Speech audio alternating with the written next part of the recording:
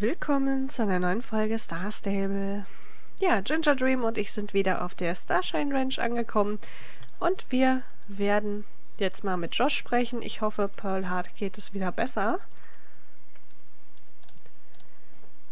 Howdy, du kommst genau richtig. Es gibt tolle Neuigkeiten. Lisa ist da.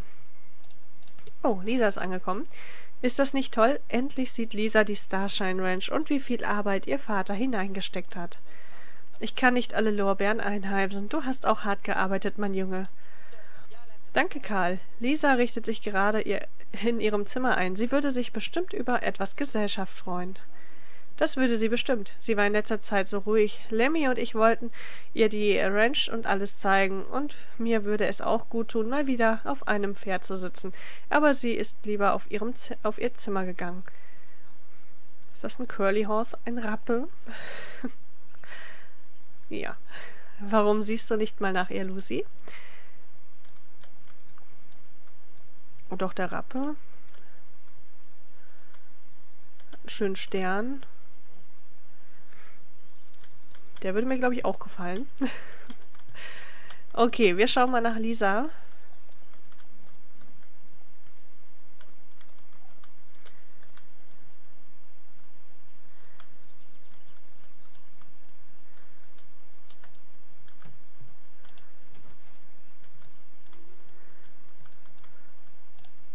Oh, und Starshine schaut rein. Hat mein Vater dich gebeten, nach mir zu sehen? Er macht sich aber auch immer Sorgen um mich. Naja, schau dich ruhig um. Ich habe schon alles an seinen Platz geräumt, aber naja, ich fühle mich noch etwas fremd hier. Gut, das ist ja kein Wunder. Da sitzt der kleine Starshine. Ich als Plüschtier, die Ähnlichkeit ist verblüffend, oder? Lindas Werk ist, sie ist wirklich begabt. Sie hat das Blitzen meiner Augen und das Leuchten meiner seidenen Mähne richtig gut eingefangen. Eine ziemliche Leistung, wenn du mich fragst. Dann die Gitarre. Meine Gitarre, mein treuer Begleiter, eine Martingale, eine sechsseitige Akustikgitarre aus texanischem Teakholz, das schönste Instrument der Welt. Wir beide sind zusammen durch dick und dünn gegangen. Sie hat vielleicht schon bessere Tage gesehen, aber ich würde keine andere haben wollen. Dann gibt's hier Lucy, könntest du mir bitte die Star Cookies da etwas näher heranschieben? Ein Apfel kann ja noch so knackig sein, aber Star Cookies knuspern doch noch tausendmal besser. Yummy. Ach, Starshine. Ähm, dann haben wir hier noch was. Noch sieht mein Bücherregal etwas leer aus. Aber das ändert sich, sobald Linda mich besuchen kommt. Guck, sie hat mir schon einen Knights of Onistria Manga geschenkt, das, die, das sie doppelt hatte. Sie sagt ja immer, wir sollten uns an Halloween als die Knights of Onistria verkleiden, aber Alex weigert sich standhaft. Sie sagt, an Halloween geht es um gruselige Verkleidung, nicht um niedliche. Ja. Das ist die Plattensammlung, die ich von meiner Mutter geerbt habe. Jedes Mal, wenn ich mit Alex und Jorvik bin, muss ich mir einfach noch ein paar dazu kaufen. Wie schön, dass ich hier genug Platz für sie habe. Wenn ich mir ein paar der Lieder anhöre, fühle ich mich bestimmt wie zu Hause.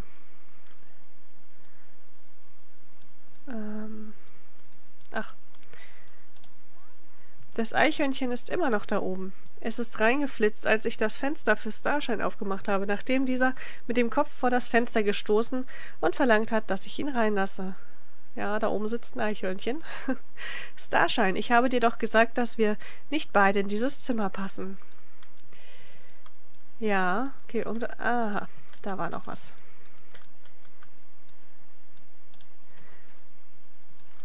Ja, warum gehen wir jetzt raus? ich wollte doch das hier. Ein komischer Platz für eine Banane, ich weiß. Das war mein Vater, ist so ein Insider. Mhm, wir legen Bananen in irgendwelche Orte und warten, wie lange es dauert, bis der andere sie findet. Ein netter Versuch, aber das kann ich deutlich besser. Ja, vor allem, wenn man, wenn sie nachher nicht rechtzeitig gefunden werden, dann wird es irgendwann unangenehm. Ich liebe mein Zimmer. Ich weiß Papas und Josh harte Arbeit wirklich zu schätzen. Aber mir ist klar geworden, dass was nicht stimmt. Es gibt keinen Platz auf der Ranch, der dem Andenken meiner Mutter gewidmet ist. Aber wo soll ich anfangen? Vielleicht sollte ich zuerst darüber nachdenken, wie ich mich all dieser Zeit an meine Mutter erinnert habe. Hat sie sich die Ranch denn überhaupt schon angeschaut? Jedes Jahr zum Tag der Toten errichte ich einen Altar aus Ringelblumen, bereite drei Tassen Champurrado zu und wir singen Mamas Lieblingslieder. Das ist eine Tradition aus Mexiko, die ich von ihr gelernt habe. Vielleicht sollten wir eine dauerhafte Gedenkstätte hier auf der Ranch einrichten, damit es immer einen Ort gibt, an dem mein Vater und ich gehen können, wenn wir an sie denken. Das ist eine tolle Idee. Ich kann dabei helfen. Das bedeutet mir so viel. Vielen, vielen Dank, Lucy. Legen wir los. Okay, für die Gedenkstätte für meine Mutter müssen wir noch Ringelblumen pflücken und einen schönen Platz dafür auf dem Gelände der Ranch finden. Okay. Äh, ein unvergessliches Rennen und den richtigen Ort finden. Ja, fangen wir mal mit dem Rennen an, ne?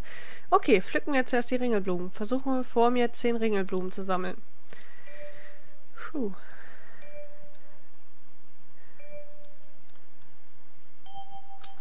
Achso, ne, wir sollten schon rennen, denke ich. So, hier unten war noch was.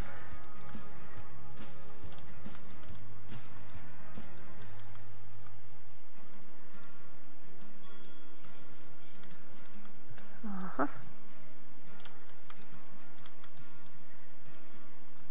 Da unten. Okay, hier sitzt noch ein Hühnchen.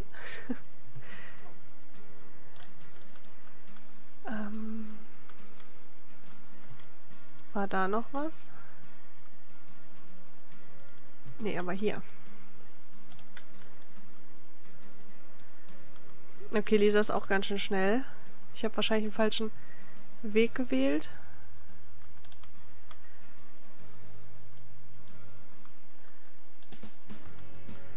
Aber wir brauchen noch eine. Eine. Ja. Wo ist die? Die hatten wir schon.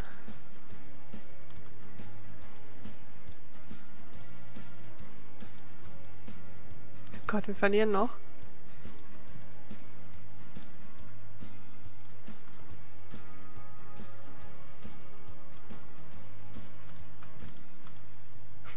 Wir verlieren echt doch.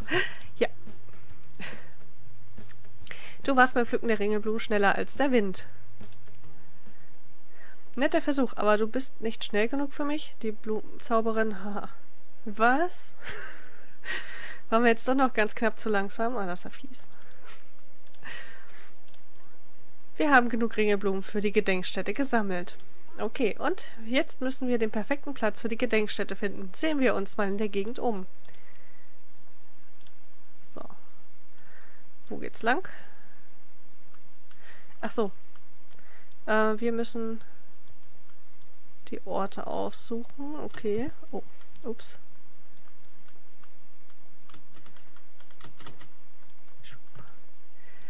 Und ich würde sagen, wir fangen nach vorne an. Es müsste hier irgendwo... Ah, der Ausblick auf die Starshine Ranch ist wirklich schön, aber spürst du den Wind, der aus den Bergen kommt? Er würde die Blumen wegwehen. Wir sollten einen anderen Ort finden. Okay. Wenn das so ist, dann schauen wir mal hier weiter.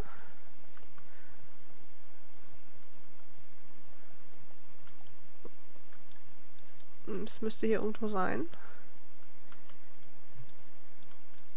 Ach, da bei den Ringelblumen.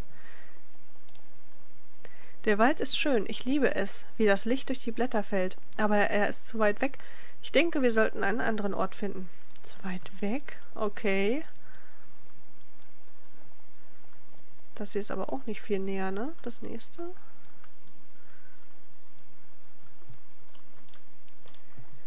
Das ist wirklich zentral, aber hier wäre die Gedenkstätte zu ungeschützt. Es sollte ein privater Ort sein. Suchen wir weiter. Ja, es ist nicht ganz einfach. Dann müssen wir wohl noch hier hoch. Oh, schaffen wir das? Ja. Ich denke, das ist es. Sieh dir den Baum an, die Blumen, die Aussicht auf die Ranch. Meine Mutter würde es lieben. Lass uns die Gedenkstätte hier errichten. Hey Lisa, alles okay? Hm, Gehen wir zurück ins Zimmer, Lucy. Ich glaube, Lisa braucht einen Moment.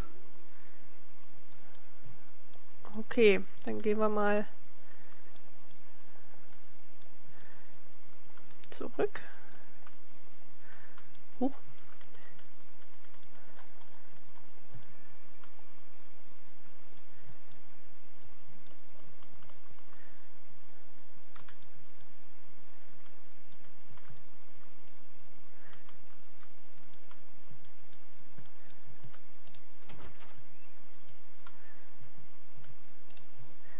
Ich brauche nur eine Verschnaufpause. Das war ein wenig zu viel für mich, aber jetzt geht es mir besser. Möchtest du noch etwas über meine Mutter wissen, bevor wir anfangen? Ähm, deine Lieblingserinnerung, deine lustigste Erinnerung, etwas, das sie dir beigebracht hat. Hm, die Lieblingserinnerung, würde ich sagen. Meine liebste Erinnerung an Mama. Es gibt so viele, aber eine sticht wirklich heraus auf ihrem Schoß zu sitzen, während sie mir gezeigt hat, wie man Klavier spielt. Das leichte Morgenlicht, das in den Raum fiel, ihr Haar, das meine Wange kitzelte, wenn sie sich vorbeugt, ihre Finger, die über die Tasten gleiten, während meine ihre Bewegungen verfolgen. Wir haben den perfekten Platz für die Gedenkstätte gefunden und die Ringelblumen gesammelt. Gehen wir raus und lassen meinen Vater und Josh wissen, dass alles bereit ist. Okay, dann Ach, jetzt kommen wir hier nicht raus. Vorhin wollten wir nicht.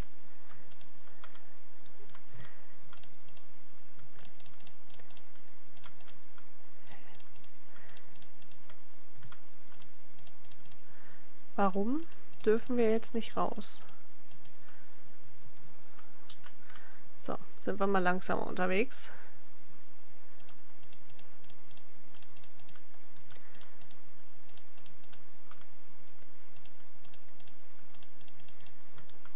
Echt jetzt? Aha.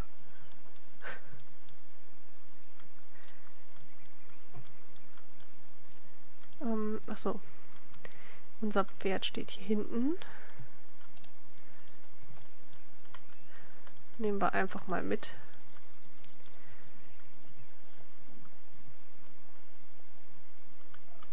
Ach, da drüben. Papa, mir ist klar geworden, was auf der Ranch fehlt. Ein Ort, um Mama zu gedenken. Lucy und ich haben Ringelblumen gesammelt und den perfekten Ort für die Gedenkstätte gefunden. Uns fehlen nur noch ein paar bedeutungsvolle Gegenstände, um sie zu dekorieren. Isa, du rührst mich zu Tränen. Du hast so eine gute Seele. Deine Mutter wäre stolz auf dich. Ich habe genau das Richtige für die Gedenkstätte, unser Familienfoto. Gehen wir zur Gedenkstätte und legen unsere Dinge dorthin. Du auch, Josh? Wir hätten dich wirklich gerne dabei. Okay, die beiden sind schon weg.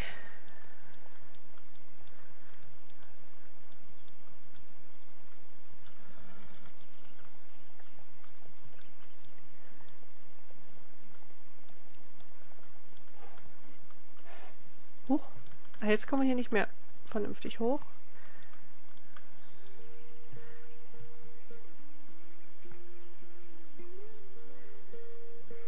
Papa, kannst du uns ein wenig über Mama erzählen? Ich bin mir sicher, Josh und Lucy würden es auch gerne hören.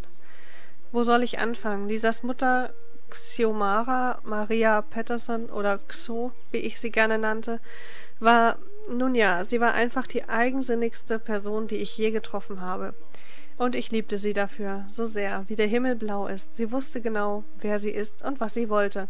Dafür werde ich sie immer bewundern.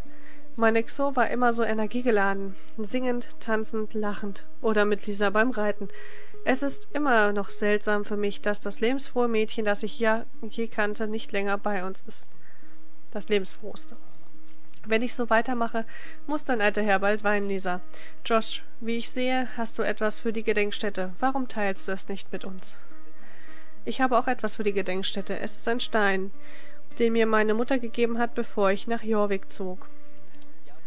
Ich hatte ihn gefunden, als wir damals im Grand Teton National Park ähm, campen waren. Ich verlor ihn auf dem Rückweg und habe den ganzen Weg nach Hause geweint. Meine Mutter ging zurück und folgte unseren Spuren, bis sie genau diesen Stein fand.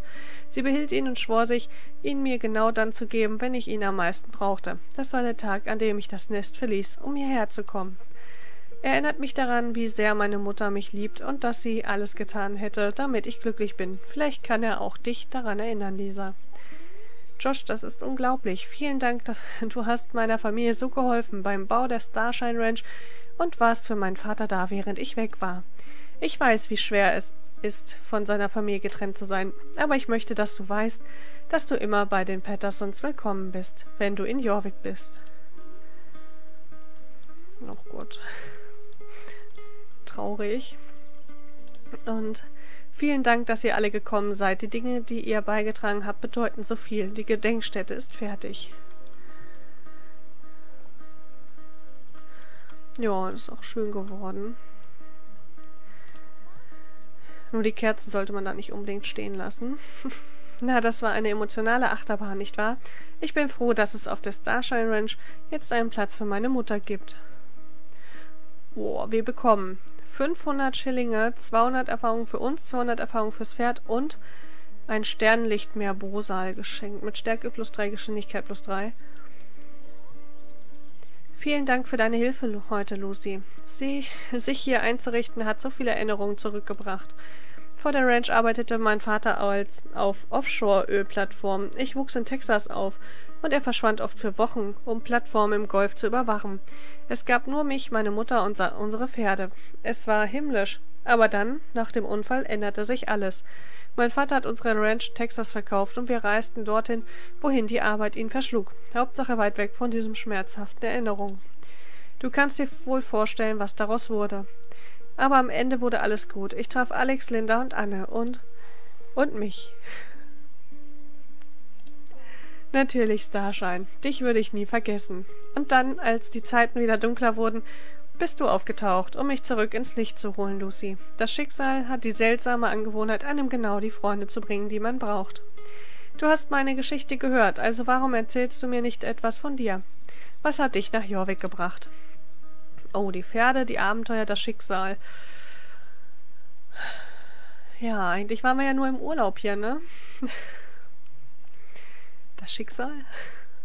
Ganz wie bei mir. Es ist seltsam. Ich glaube, ich hatte noch nie von Jorvik gehört, bevor mein Vater sagte, wir würden herziehen. Aber sobald ich hier ankam, konnte ich es den Stern, konnte ich es in den Sternen sehen. Jorvik rief nach mir. Ich frage mich, was Jorvik von dir erwartet.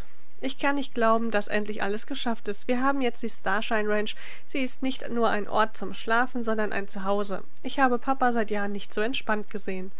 Und unsere Familie ist sogar gewachsen. Jetzt, da Josh und Pearlheart hier sind, du solltest Pearl und Starshine sehen. Sie passen zusammen wie Kekse und Milch. du hast mir wirklich sehr geholfen, Lucy. Das Andenken an meine Mutter auf der Starshine Ranch, auf die Starshine Ranch zu bringen, das hätte ich ohne dich nicht, nicht geschafft.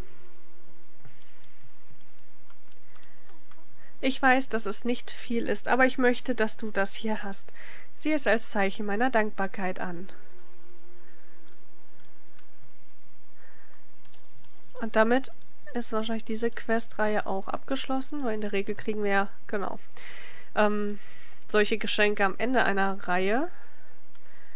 Und das hier ist das Bosal, das wir bekommen haben.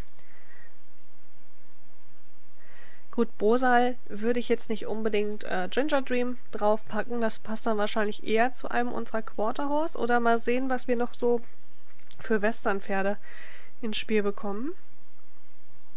Aber ich finde es cool, es hat ähm, ja, championatsgeeignete Werte. Das heißt, man könnte gucken, dass man einen passenden Sattel dazu findet noch. Und ähm, ja, hat dann schon mal ein schönes Outfit. Oder vielleicht haben wir ja irgendwann auch mal Glück und bekommen noch einen Sattel dazu. Wir wissen ja nicht, was uns hier dann nochmal auf der Starshine Ranch erwarten könnte. Und ich würde aber sagen, das war's für heute. Wir sehen uns dann beim nächsten Mal wieder. Und ähm, ja, das wird wahrscheinlich, wenn keine weiteren Quests ins Spiel kommen, questtechnisch gesehen, ja, bei Farah sein. Gut. Also, bis dann. Tschüss.